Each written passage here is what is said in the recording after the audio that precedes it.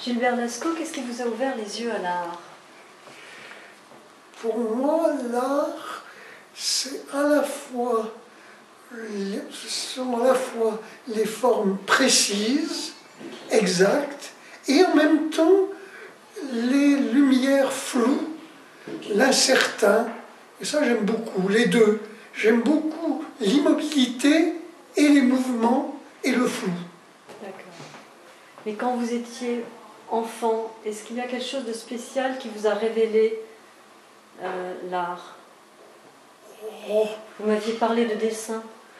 Oui, c'était quelquefois les dessins, et à ce moment-là, c'était aussi, c'était ma main, ma main avec la plume.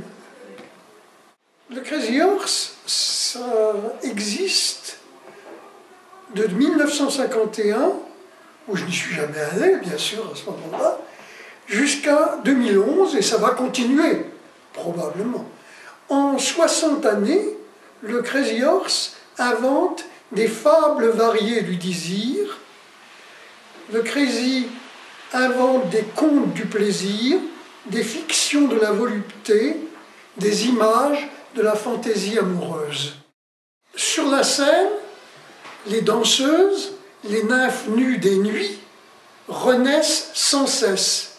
Elles célèbrent les mystères de la beauté, on voit des cérémonies sensuelles, des rites heureux, et ce sont les triomphes de la séduction.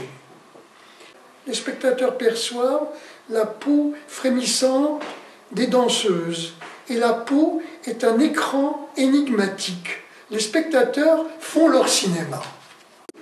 C'est depuis une vingtaine d'années, Antoine Poupel, Antoine Poupel qui est né en 1956, Antoine Poupel regarde les danseuses avec une douce retenue, avec discrétion, avec délicatesse. Les danseuses et le photographe se sourient. Ils vivent en bonne intelligence avec une amitié réservée. Le photographe explore les coulisses, les espaces du Crazy Horse. Antoine est un silencieux. Il est vigilant, attentionné, respectueux, courtois. Il observe les belles et il les admire.